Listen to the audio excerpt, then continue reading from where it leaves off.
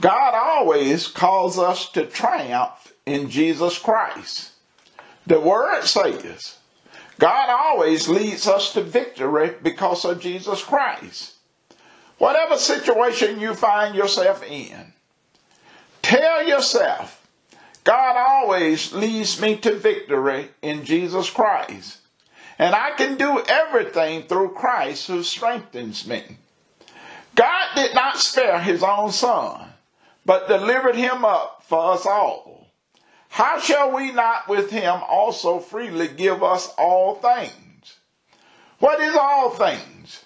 Jesus said, If you live in me and what I say lives in you, then ask for anything you want and it will be yours. He also said, If you believe, nothing shall be impossible unto you.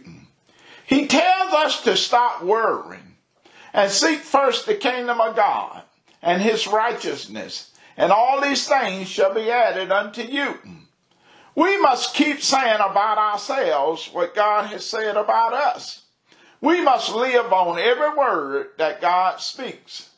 Jesus said, we must have faith in God. I can guarantee this truth.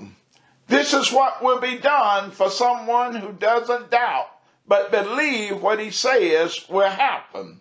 He can say to this mountain, be uprooted and thrown into the sea, and it will be done for him. That's why I tell you to have faith that you have already received whatever you pray for, and it will be yours. God's word will never change.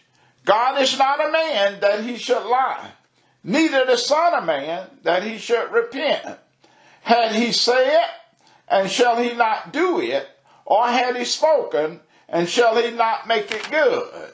Whatever God has promised you in his word, it's yours.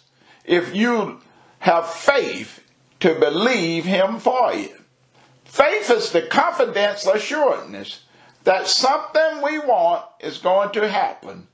It is the certainty that what we hope for is waiting for us even though we cannot see it up ahead.